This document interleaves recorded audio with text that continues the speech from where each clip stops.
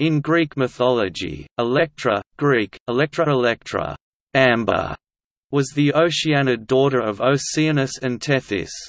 According to Hesiod, she was the wife of Thaumas, and by him, the mother of Iris, the messenger of the gods, and the Harpies. The names of Electra's Harpy daughters vary.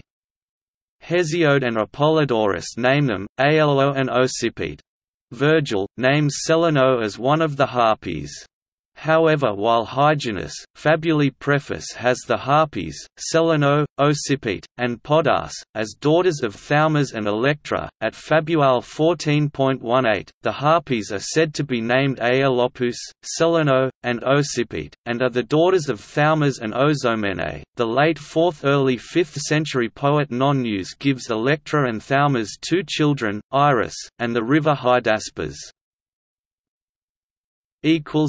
notes